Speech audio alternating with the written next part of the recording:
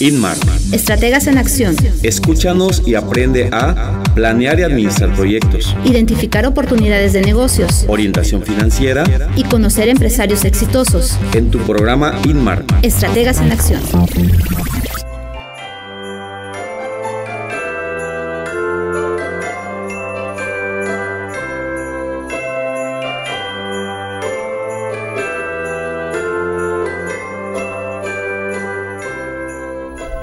Buenas tardes a todos, espero estén disfrutando de un bonito fin de semana. Estamos transmitiendo el programa INMAR, Estrategas en Acción desde la Universidad Tecnológica de Tabasco por sintonía UTAP 102.5 FM, la perfecta armonía de tus sentidos. Mi compañero Freddy Alcudia y Lisbeth Carrillo.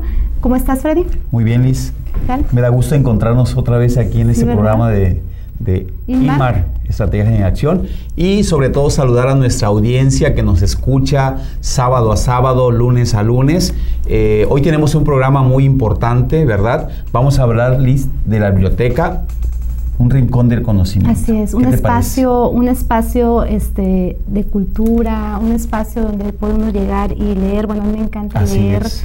Eh, ese olor del- de los libros, ¿no? Cuando llegas a una biblioteca y los- lo empiezas a ojear, eso es. es. eso es Pero fíjate. Liz, que, que mucha gente piensa que la biblioteca es un lugar así muy frío, etcétera, ¿no? Pero no, ahí vamos a encontrar un acervo cultural debidamente clasificado, numerado, este, y de todo lo demás, ¿verdad? Pero eh, esa colección de libros a la cual mucha gente le gusta llegar y estudiar, sobre todo los, los alumnos, ¿verdad? Los investigadores y aquellos amantes de la investigación en concreto, ¿verdad? Y sobre todo, ¿verdad? El valor que tiene una biblioteca dentro de una institución educativa. Invaluable, definitivamente es. es. un valor invaluable. Y fíjate que también es importante mencionar que uno de los factores que influyen en el éxito de un estudiante es justamente la constante presencia y utilización de una biblioteca, ya sea una biblioteca en general o una biblioteca este, universitaria es- este, especializada. Y de hecho, cuando se hace un trabajo en conjunto entre el bibliotecario y los docentes, se, se ha demostrado que los alumnos alcanzan, alcanzan un, Mayor nivel de nivel desarrollo. este, de desarrollo de conocimiento, de es. lectura, de aprendizaje, de solución de problemas y sobre todo esta parte de la- el desarrollo de las habilidades de competencias específicas, ¿no? Pero, bueno, pero también es, es, es lo, lo- lo que se debe resaltar, ¿verdad? La importancia de la lectura. El hábito Toda de la- gente que lee adquiere conocimientos incalculables. Así es. Y como algunos sí tienen, tenemos el hábito de la lectura y como como docentes te corresponde fomentarlo, ¿no? Como lo estás, como sí. lo estás diciendo. Fíjate, y eh, definitivamente es un placer leer y como siempre tenemos una invitada que nos va a hablar sobre este tema. Alguien una experta, experta en el tema y sobre todo eh, ella dirige eh, la biblioteca en esta casa de estudios. ¿Quién es Freddy? Mira, nada más y nada menos se trata de la maestra Soledad Cecilia Rodríguez Párez. Le damos la más cordial bienvenida a este de su programa INMAR para que nos platique acerca de la importancia de las cosas que hace como jefa de ese departamento y como parte primordial de esta casa de estudios. Bienvenida, maestra Soledad. Muchas gracias. Gracias por eh, invitarme en este espacio. Bueno, aquí vamos a compartir un poco sobre lo que es la biblioteca. Sí, un tema, la verdad que aparte que la biblioteca de la universidad es muy bonita. Es, es- es bonita, es amplia y, tiene muy buen acervo hasta donde nosotros percibimos, ¿verdad? Lo percibimos de lejito y sobre todo queremos que la gente, el público, los estudiantes conozcan más a fondo acerca de la importancia que tiene la biblioteca. Y vamos a dar inicio entonces a esta, a esta pequeña entrevista. entrevista, este diálogo que vamos a, a entablar con usted para que nos comience diciendo qué es la biblioteca para usted, qué significa ese término. Bueno, etimológicamente la palabra biblioteca significa lugar donde se guardan libros. Sin embargo, hoy en día este concepto ha sido superado o modificado de alguna manera para referirnos al conjunto de colecciones bibliográficas, hemerográficas y audiovisuales, así como a las instituciones que crean y ponen a disposición de nuestros usuarios los servicios bibliotecarios. Hoy en día la biblioteca nosotros la podemos definir como un centro de recursos de aprendizaje para la docencia, la investigación, la formación continua de nuestros estudiantes, apoyando las actividades de la casa de, la, academia, interesante la definición, ¿no? Claro. ¿Cómo, era considerado o cómo empezó esta definición diciendo que, era, que es un espacio, ¿no? Para, para guardar libros. Así es. Depósito. Este, como, un como, depósito. Sí. ajá, como una caja. como un. Antiguamente, antiguamente las bibliotecas eran este, utilizadas más que nada, eh, quienes tenían acceso a la información eran la gente, los, Pues era un diría lujo, los, era sí, un era un lujo. era Los más que nobles, nada los nobles, gente- los religiosos, eran los que Así tenían es. acceso a esa información. Hoy en día, pues las bibliotecas ya están abiertas al público en general y bueno, cualquiera tenemos acceso a, a esta información. Bueno, y definiéndolo como un centro de recursos, ¿con qué acervo bibliográfico cuenta la biblioteca Francisco Fuentes Esperón? Bueno, eh, actualmente contamos aproximadamente con 5.000 títulos, equiva- equivalente a 25.000 ejemplares, los cuales los tenemos clasificado en colecciones, que son colecciones generales, el cual incluyen eh, acervo de las diversas áreas del conocimiento, como física, química, matemática, e historia, también tenemos una colección este, de consulta que esa incluyen eh, diccionarios, enciclopedias, manuales. Posteriormente tenemos una colección de Leamos la Ciencia, los libros que son referentes a ciencia y tecnología y esa colección es prácticamente especializada ya que los muchachos eh, la utilizan para participar en el concurso que se hace anualmente de Leamos la Ciencia. Muy recurrido además ese- Así es, esa, es- esa bibliografía, ¿eh? de verdad, porque y ha ayudado a mucha gente, a muchos alumnos sobre todo, y maestros, por supuesto, para desarrollar los proyectos de investigación con respecto a esas convocatorias que emiten. Así es.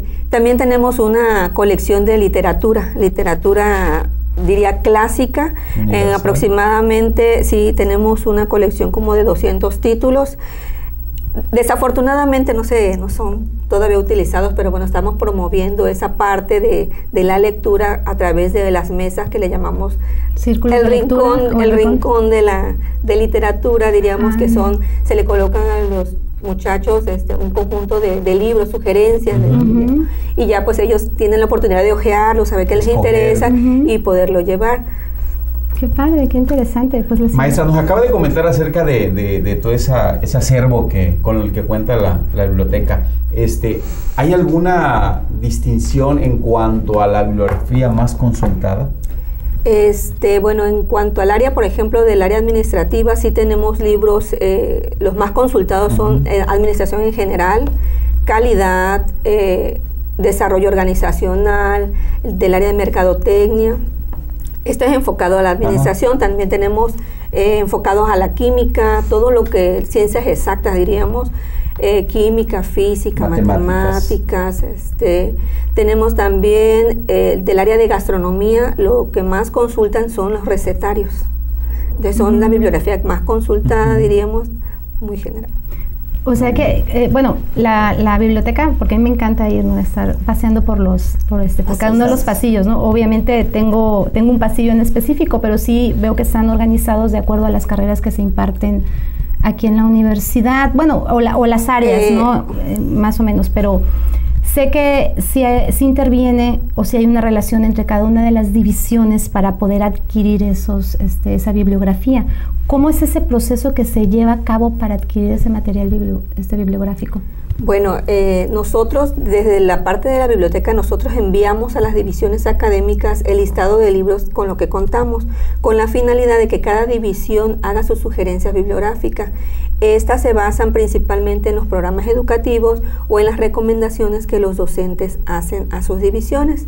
Una vez que ellos tienen esa lista, nosotros este, la revisamos nuevamente con la finalidad de no duplicar material que ya tenemos, porque en algunas ocasiones se piden títulos que ya tenemos, entonces esa es la finalidad de enviarle nosotros nuestro acervo general en lista y ya ellos van viendo qué nos faltan y en base a eso nosotros Ustedes hacemos la la solicitud ante el recursos materiales. Una vez que, perdón, una vez que llegan esos libros, bueno, ya son pasados al proceso de clasificación y registro en el sistema. Para ya después acomodarlos de acuerdo a las áreas que nos Así es. mencionaba. Pero, disculpe, yo tengo una duda. Yo he escuchado que los alumnos igual donan libros. Eh, esta es la otra parte de, para, bueno, la adquisición, eh, los libros, por ejemplo, de la lista que nos envían y nos pueden ser adquiridos esos títulos por diversas razones, esa lista también se le coloca en la página institucional al alumno para que cuando hagan su trámite de titulación ellos puedan seleccionar el libro y donarlo a la biblioteca. Que consideran. Así es, esos libros por lo general son libros que ya han cumplido su vida útil y que necesitamos reemplazarlo, porque es una manera de ir reemplazando los libros que ya están la edición. ¿Qué hacen con ese, ese material? El material que reemplazamos eh, se tiene que dar de baja ante Contraloría del Estado. Entonces es un proceso que todavía no hemos hecho nosotros, por lo ahorita lo tenemos todavía empaquetado, ah, pero ya es mucho material que está roto. Entonces como vamos reemplazando, vamos sacando ese y vamos sustituyendo con lo nuevo.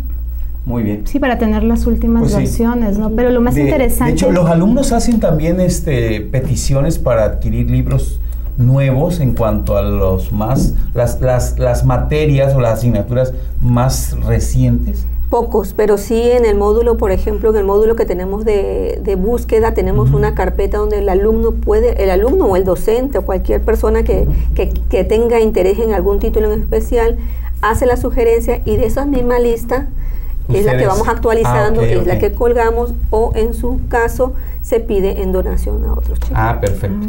Este, maestra, eh, sabemos que la biblioteca cumple con otras funciones, no nada más de, organizar libros, dar prestados libros, apoyar o u orientar a los alumnos y docentes, ¿verdad? Pero ¿brinda algún servicio diferente eh, esta biblioteca? Bueno, eh, los servicios que brindamos prácticamente son eh, el préstamo de acervo tanto interno como externo, préstamo de material de reserva. Tenemos una fonoteca, esa es una estación de escucha en la cual los muchachos pueden conocer el acervo cultural, sobre todo sonoro. Entonces es una estación de escucha equipada con equipo de sonido, así que el sonido, el muchacho puede llegar a escuchar este diversas diversos materiales, diríamos, desde la música antigua, o pueden ver los comerciales, sobre todo, por ejemplo, para el área de mercadotecnia, pueden escuchar cómo eran los comerciales y cómo se han transformado hoy en día. Ese es parte del servicio, diríamos, diferente que tenemos, una fonoteca. Y bueno, los servicios básicos que cuenta cualquier biblioteca, que son los préstamos, las devoluciones. ¿Talleres? Talleres de literatura. Bueno, los talleres de literatura son en coordinación con el área de actividades culturales y deportivas. Eh, tenemos los talleres que se brindan durante todo el cuatrimestre, los talleres de literatura. Y bueno, también tenemos, este, para promover la lectura, tenemos el maratón de lectura que hacemos anualmente. Ah, eso es muy interesante. Este, con la finalidad de, bueno, de inculcar al muchacho de que el placer por la lectura, que conozca un poco más sobre la, eh, ese, está muy interesante. ¿Qué te parece si eso nos los cuenta regresando del corte? Claro que sí. Bueno, vamos a un corte promocional y regresamos con esta interesante entrevista que nos están hablando la, la maestra Soledad acerca de la biblioteca.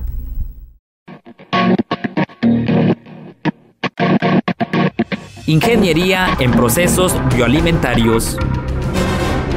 En esta carrera aprenderás a realizar e interpretar análisis físico-químicos, microbiológicos, sensoriales y nutrimentales. Elaborar nuevos productos alimentarios aprovechando los recursos de la región. Así como también todo lo relacionado con las certificaciones en sistemas de calidad alimentaria y manejo higiénico de los alimentos podrás desempeñarte profesionalmente en las diferentes áreas de las empresas públicas o privadas relacionadas con la industria alimentaria, tales como laboratorios de análisis de los alimentos, líneas de producción de alimentos, consultoría sobre los sistemas de calidad alimentaria de los productos agroalimentarios, desarrollo de investigación de nuevos productos y en la creación de tu propia empresa.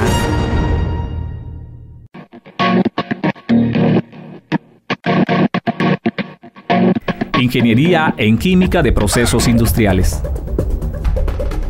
La ingeniería en química de procesos industriales está dividida en tres áreas. Fluidos de perforación, prevención de corrosión, química industrial. En el área de fluidos de perforación aprenderás a preparar fluidos, así como determinar sus propiedades físicas y químicas para optimizar la operación de la perforación, además de identificar equipos y herramientas que se utilizan en la perforación de pozos petroleros.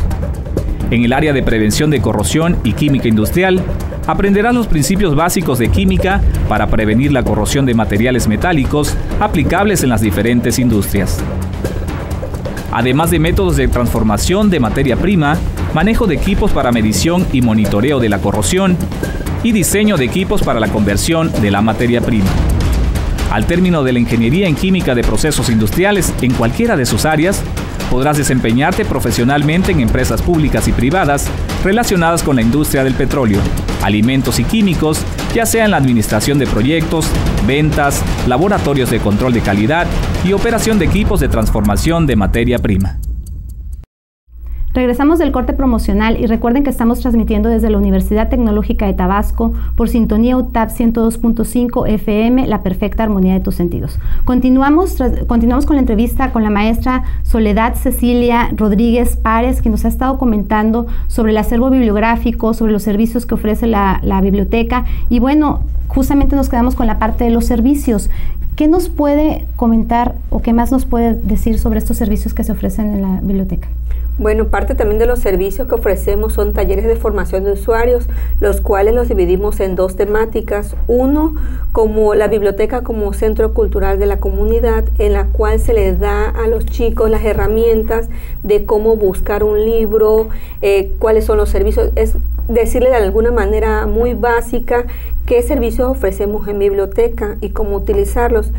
También se da otro taller que se llama acceso a bases de datos. Nosotros contamos con bases de datos de EBSCO y Cengis Learning, donde los muchachos pueden buscar acervo bibliográfico, diríamos, en línea y pueden consultar revistas especializadas. Esa es una gran ventaja, ¿no? ¿Es, es, ¿Tiene algún costo o es gratis? Es gratuito siempre y cuando estén dentro del campus de la universidad. Este, tenemos un catálogo en línea eso sí lo pueden consultar, diríamos, para conocer qué hacer, de qué acervo disponemos. Este, eh, los chicos pueden estar conectados de cualquier parte de, del mundo, diríamos, a las 24 horas del día y sí pueden consultar el acervo. En general pero no pueden acceder, por ejemplo, a un libro porque simplemente es un catálogo de lo que tenemos. Para poder acceder al libro tengo que estar en las instalaciones de la universidad. Así es, para poder acceder a la base de datos tiene que ser con la IP de la universidad. bueno, pero es una gran ventaja ya pues poder saber desde tu casa con qué bibliografía cuentas, los móviles que, que, traen los, los, estudiantes y los maestros también, ¿verdad? Lo pueden consultar desde cualquier espacio de aquí mismo de la universidad. De hecho, este, si el alumno se da de alta en la página, en alguna de las páginas de las bases de datos, sí se les da una IP. O sea, ellos hacen su registro, pero directamente con el proveedor del servicio y entonces ya con la IP de su equipo ellos podrían consultar desde cualquier parte. Tienen libre acceso. Así es. Ah, bueno, entonces existe la opción. Bueno, este, otro de los servicios es el préstamo de equipos de cómputo, muy recurrente con los muchachos porque pues no, sabemos que no todos tienen el acceso a la tecnología, pero en, la biblioteca se les facilita ese servicio. Los ¿Qué proceso hacen ahí para que tengan acceso, a utilizar una, una máquina? Eh, simplemente presentando su credencial de estudiante, ellos acceden a un equipo de cómputo, se les asigna una contraseña para acceder al... ¿La demanda no rebasa los equipos?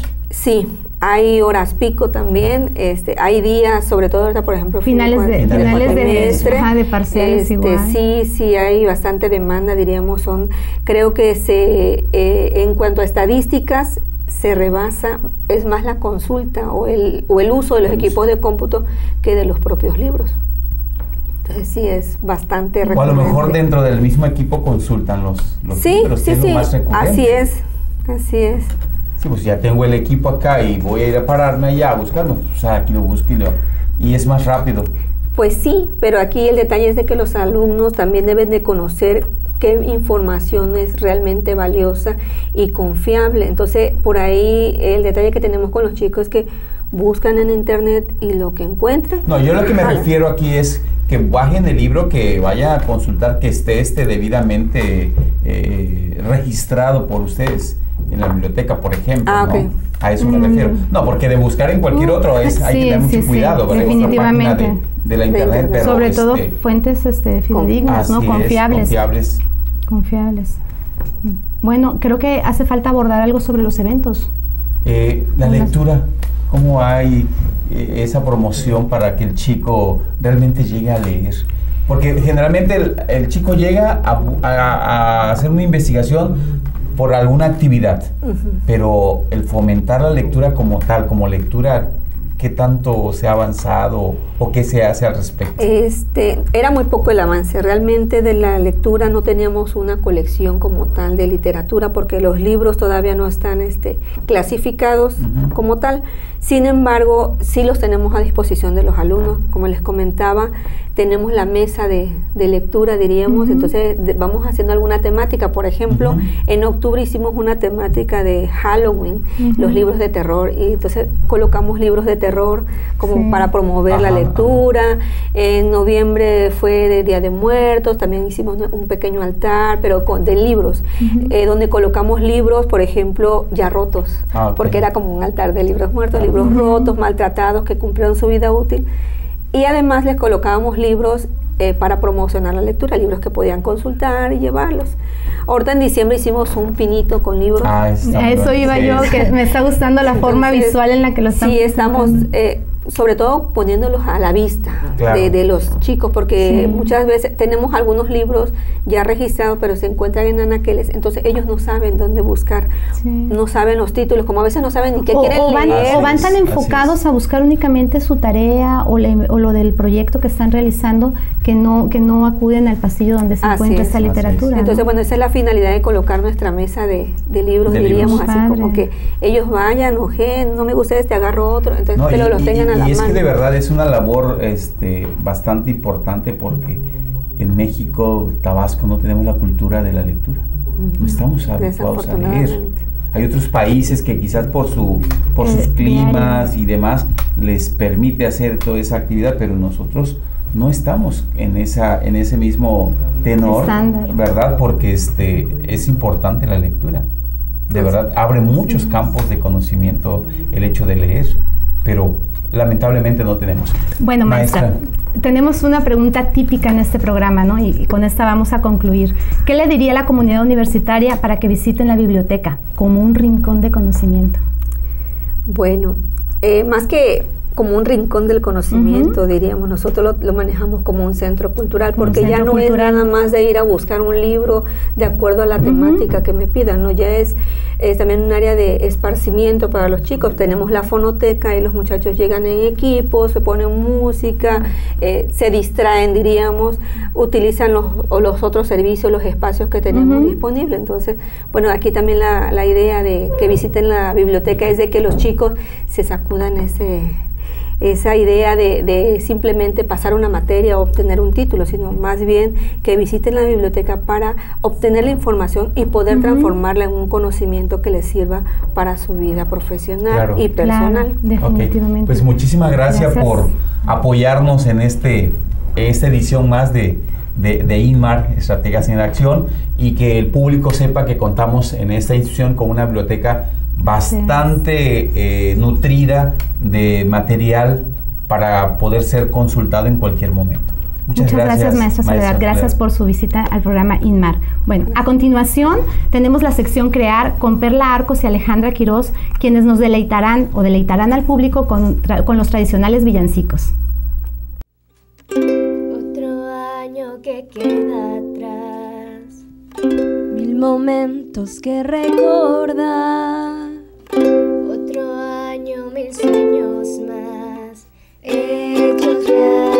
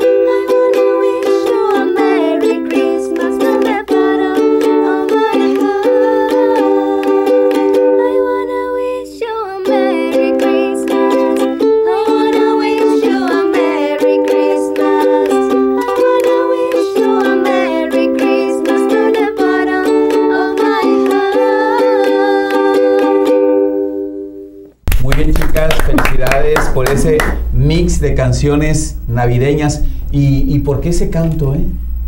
Eh, Bueno. bueno, primeramente estamos emocionadas de estar aquí.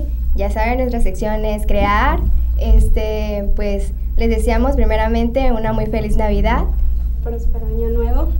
Y claro, pues eh, respondiendo a su pregunta, más que nada porque nos hace recordar el espíritu navideño, ese espíritu que todos debemos de tener.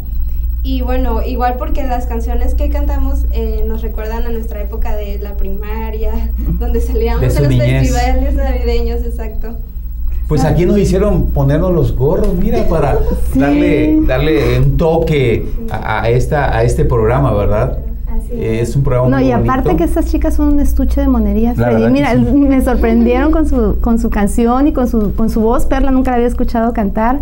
Felicidades, me gustaron mucho las canciones. Igual La a mí me recuerdan, igual a mí me recuerdan cuando era niña, ¿no? Y tenías que cantar en los villancicos y te tenías que poner este gorrito que No, tenemos y, y ahorita. sobre todo a- al público, ¿verdad? Que, que también nos escuchan jóvenes, niños y diferentes tipos de personas y, y- y vivir estos momentos es más que elocuentes. Claro, precisamente por eso escogimos estos temas navideños. Y bueno, les damos nuevamente las gracias por habernos escuchado. A ustedes, Gracias a chicas. ustedes. Muchas gracias, muy bonito el mix de canciones. Y bueno, Freddy, hemos llegado al final del programa. Un programa muy bonito además. Muy bonito, hablamos de un tema muy interesante que fue la biblioteca y ahorita esta época navideña con este con los villancicos que nos presentaron las chicas. Y bueno, les invitamos a nuestros radioescuchas a escuchar a escucharnos eh, o a escuchar el programa Inmar Estrategas en Acción todos los sábados a las 12:30 horas por sintonía UTAP 102.5 FM, La Perfecta Armonía de tus Sentidos y la repetición los lunes a las 10 de la noche. También puede ver el programa de- por YouTube y pueden seguirnos en la página de Facebook de IMAR. Que tengan un buen día y sigan disfrutando de las fiestas decembrinas. Les esperamos el próximo programa. Lisbeth Carrillo, Freddy Alcudia y recuerden, estrategia, es sinónimo de éxito. Inmar. Estrategas en acción. Escúchanos y aprende a planear y administrar proyectos, Identificar oportunidades de negocios. orientación financiera Y conocer empresarios exitosos. en tu programa Inmar. Estrategas en acción.